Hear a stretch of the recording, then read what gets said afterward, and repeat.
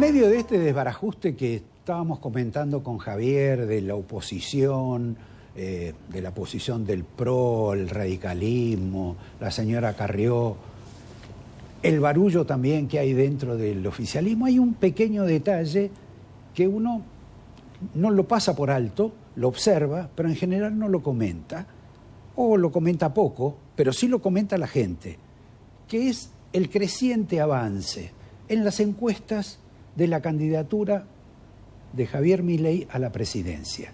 Yo quiero saltearme ese capítulo y con Jorge Asís preguntarle cómo sería Javier Milei presidente de la Argentina después de, de, un proceso electoral en el cual no va a tener ningún senador y posiblemente tendrá una lista de 30 diputados. ¿Cómo gobierna la Argentina si todos estos otros, con mayorías o con armando la mayoría, no pueden hacer nada? Yo creo que para tranquilidad de Javier Milei, no creo que sea presidente de la Argentina, para empezar. Y me parece que esta próxima elección la va a decidir otra vez el centro político. Y que declaraciones como la de hoy, como las que vos pasaste, en realidad juegan en contra de Javier Milei. La del Papa. Me parece que fue un exceso. Así como hubo excesos de represión, sí. hay excesos del lenguaje. Está lleno de excesos del lenguaje de candidatos que se hablan encima. Esta no me pareció una declaración ni inteligente ni acertada, ¿no es cierto? Mira, Javier Milei es prisionero de su propio discurso. Es el que mejor representa, si vos querés, este clima social. Yo hice aquí una nota donde se dice que en la Argentina hay más que putear que pensar. la gente putea, la gente insulta, toda esta cuestión de enojo, esta necesidad de canalizar una rabia, esta habilidad de él de presentar el vejestorio del ultraliberalismo como si fuera revolucionario, eso que me parece que es un hallazgo de él, te diría.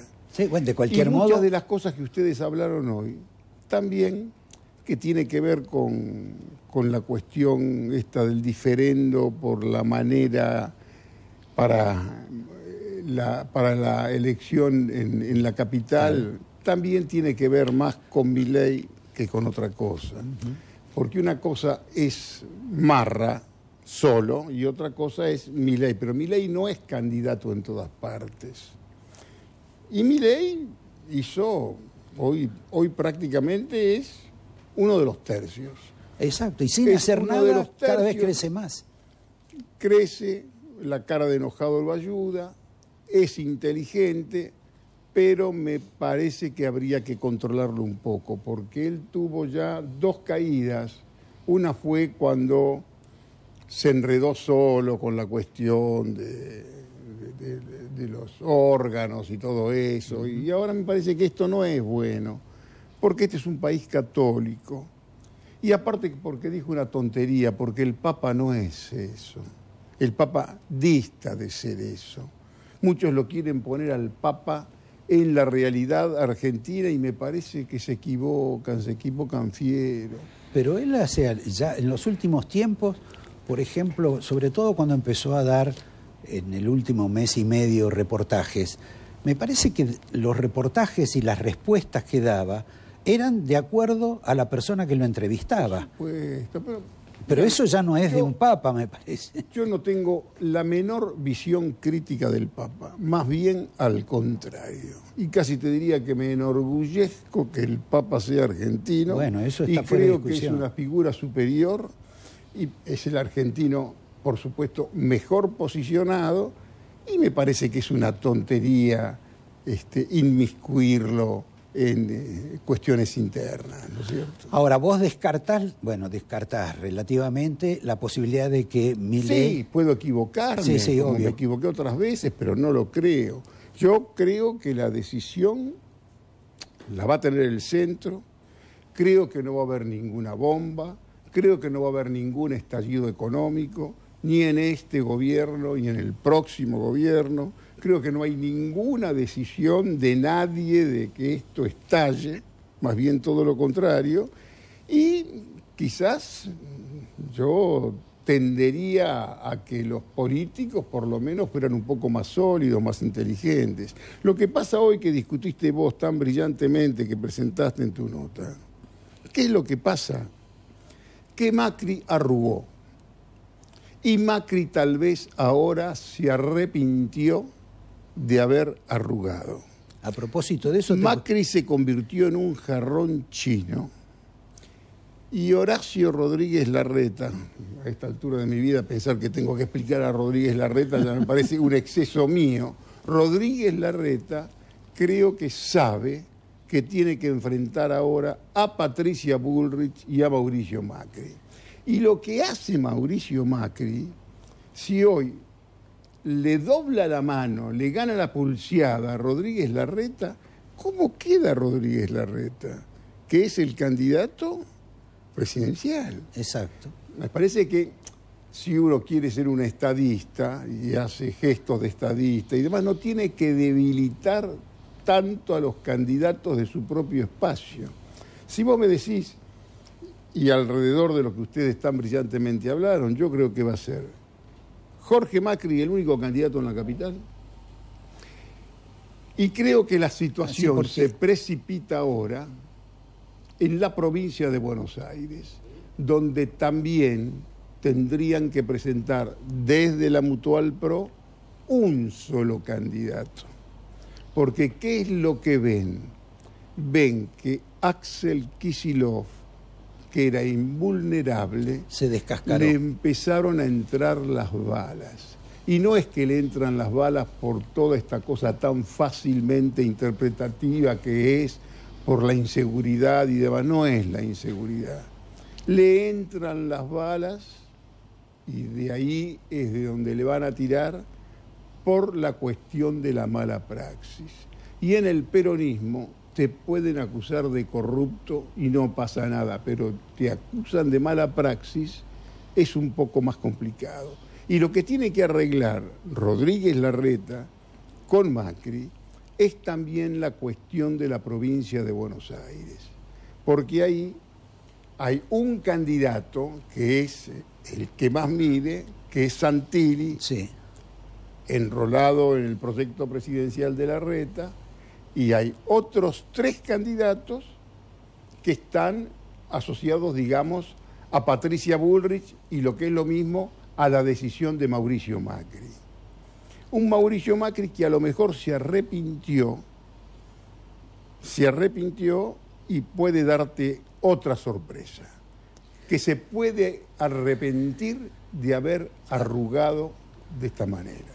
Bueno, él le ha confesado o cuenta a algunas de las personas que lo visitan, sea para, para hablar de política, ahora para entrenarse para este torneo de bridge que va a jugar, este, la sorpresa que tiene cada vez que va a la calle y le dicen, ¿Por pero, qué te ¿por qué te bajaste, Mauricio? Ahora, eso, como nosotros sabemos, ¿viste?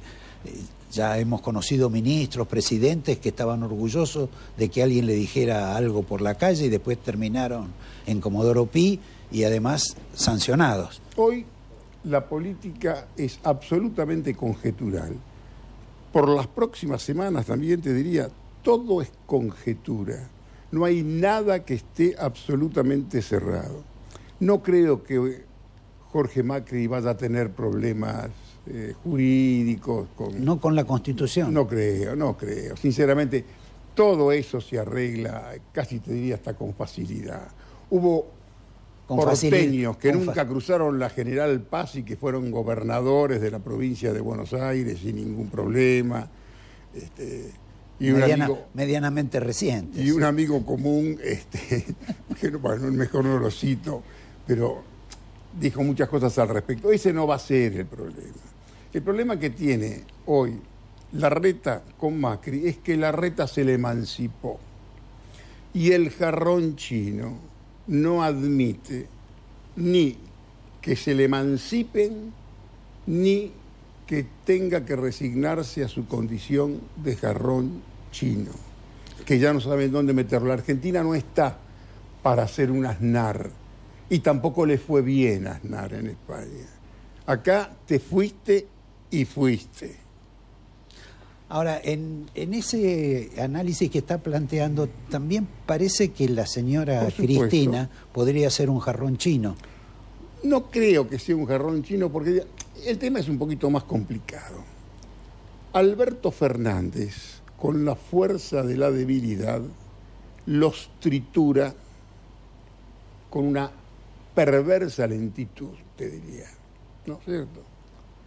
Hubo una reunión tengo entendido, hace una semana no más, donde estaban el corazón del albertismo, Gabriela Cerruti, Aracre, eh, Santiaguito Cafiero, este, y alguien más. ¿El candidato a gobernador de la provincia de Buenos Aires? No, no, candidata a gobernador de la provincia de Buenos Aires piensan, según mi información probablemente mala, en este almuerzo, en este almuerzo llegaron a un acuerdo que, ya que le dicen que Pati hay que ir por todo, se atrevió, creo que estaba presente también en el almuerzo, a decir va a ser la fórmula Alberto Fernández Scioli y Tolosa Paz, candidata a gobernador de la provincia de Buenos Aires.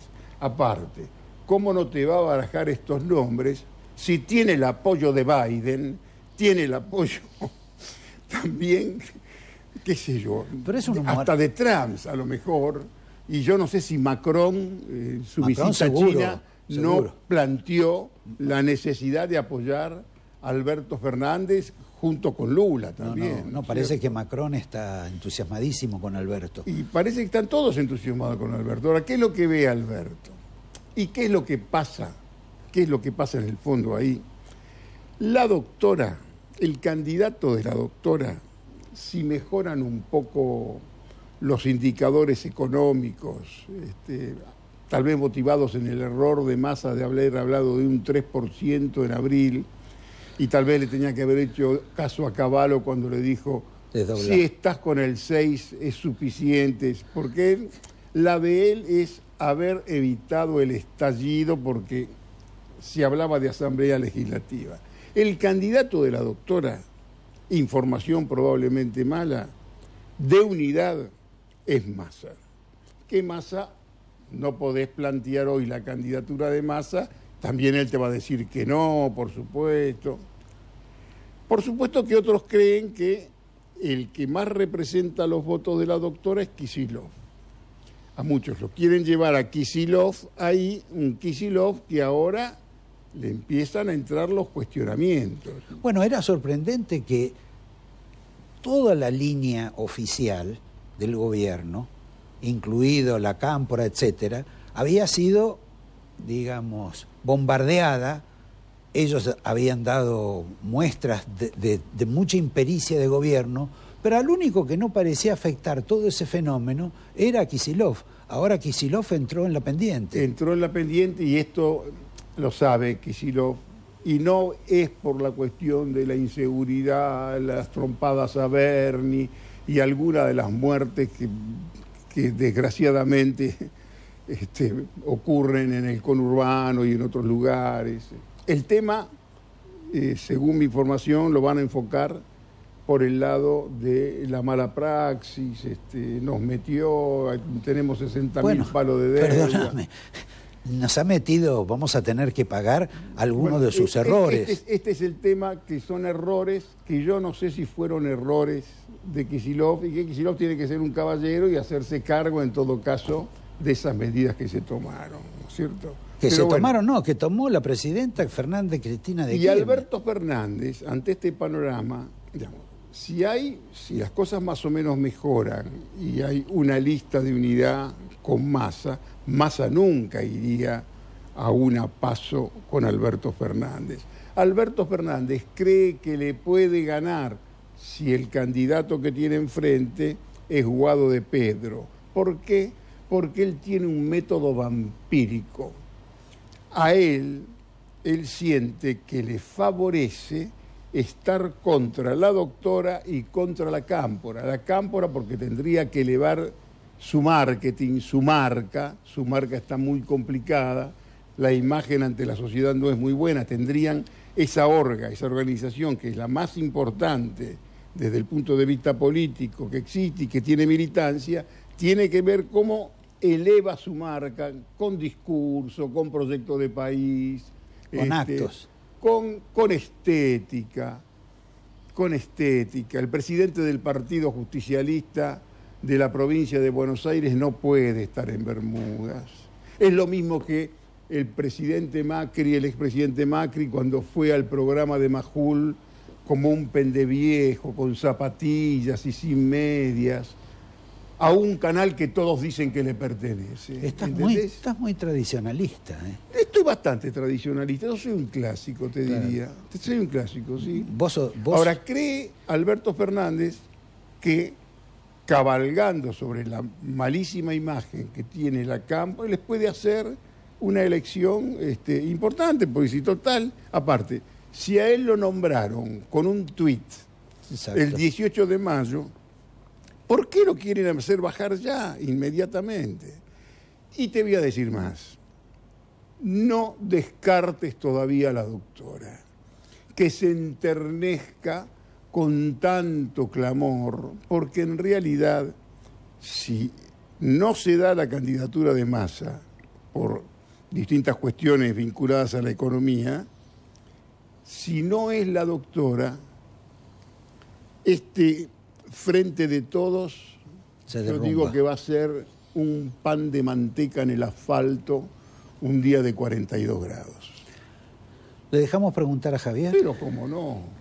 Yo una cortita. Hablabas recién de que no prevés que pueda existir un estallido en la Argentina y que si bien eso lo contuvo en parte la aparición, la irrupción de Sergio Massa y sus conejos de la galera. Ahora bien, si Massa no termina convirtiéndose en ese candidato de la unidad y él empieza a ver que no va a ser candidato, ¿vos te imaginás que Massa va a continuar como ministro de Economía hasta el final del mandato y que su salida no podría generar Javier, una querido, situación? Dije, todo es conjetural. Sí. En la Argentina hoy todo puede ser posible de esta manera. Ahora, que no va a haber estallido, yo interpreto y según mi información no creo que ni los buscapinas de Wall Street, que están todos jugadísimos con bonos y con cuestiones. Lo que es el mercado argentino, ¿qué es el mercado argentino? Hablamos con tres, cuatro, cinco amigos comunes y sabemos que ellos manejan el mercado no tienen el menor interés de tener un estallido. Para el fondo es un problema la Argentina. ¿Pero te imaginas a Massa llegando hasta el final si no es candidato? Yo me lo imagino a Massa, me lo imagino a Massa que puede tener una buena noticia con Arabia Saudita, según mi información. Creo que va a tener algún encuentro ahora que ahora que se va para la reunión del fondo, y creo que va a rajuñar pesito por pesito de algún lado y como un gran artista de variedades vas a sacar este, de algún lado este, fuego por la boca y todo eso y, puede llegar. Ahora, si él baja un poco la inflación de abril y de mayo, a un nivel más o menos aceptable, tal vez no hay un candidato mejor, ¿no es cierto? Y me parece que por conocimiento del Estado y por experiencia, Hoy, hoy gobierna más, seamos sinceros.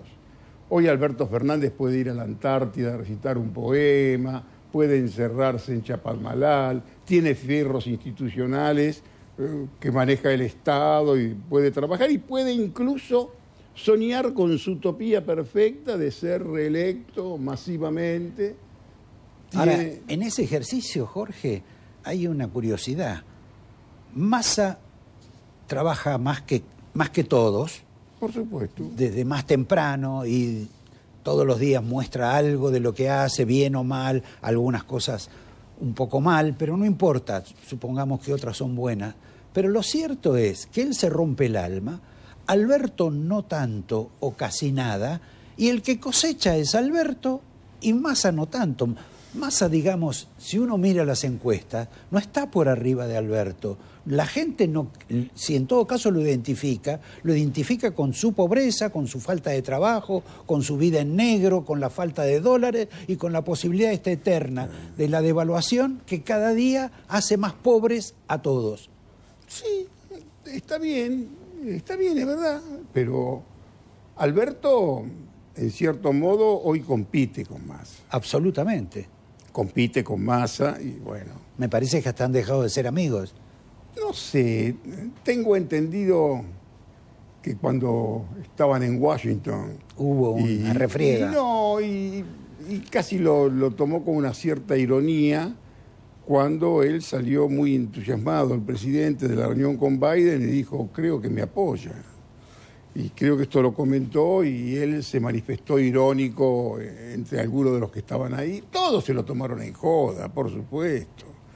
Este, Vos sabés que Biden a mí también me apoya. ya lo sé, me llamó ah. por teléfono a mí y me dijo, ¿vas a ir a lo de Roberto García? Le dije, sí. Me dijo, tenés cuidado con Javier. Exacto. Que es más crítico que Roberto García, esta generación viene peor. Aparte, le va muy mal a Biden. Biden pasó un papelón. El acuerdo entre Arabia Saudita e Irán, que lo hace China, lo durmieron a Biden. ¿Qué, también, ¿Qué te crees que es Biden? Estados Unidos hoy está perdiendo con la cuestión del 5G. China le está dando un baile extraordinario.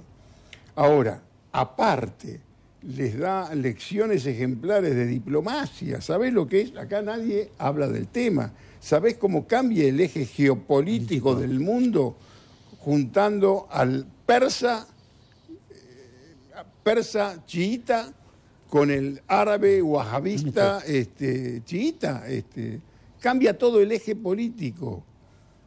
Y aparte, ¿quién está atrás? ¿Quién los hace? China. ¿Y qué es lo que presenta China ahora? Plan de paz este, de, de, Rusia y Ucrania.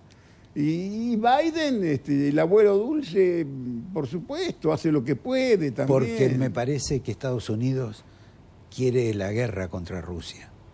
Sí, pero tampoco te la aconsejo. Me parece que sería peor error que la invasión a Irak, que fue la máxima estafa, este, que fue también la tumba política de Tony Blair, pobrecito, ¿no es cierto? Fue una estafa directamente. Si quiere la, la invasión, la guerra con Rusia, con una Rusia que está avalada por China, y hay otras potencias emergentes en la región que me parece que hay que mirarlas con... Sí, India. India, Turquía, este, hay, este, espacios distintos y me parece que Estados Unidos no está para tantas batallas. Y la razón por la cual lamento que el apoyo de Biden no sea tan decisivo para Alberto, Fernández. Porque si no tendríamos. Aunque el de Lula tal vez un poco más. El de Lula sí, el de Lula también. Alberto, un poco más. si no tendríamos Alberto para rato. Habría que preguntarle a Erdogan a ver qué piensa. Sí, bueno, ya destruyó bastante la, herencia recibida Erdogan. ¿eh?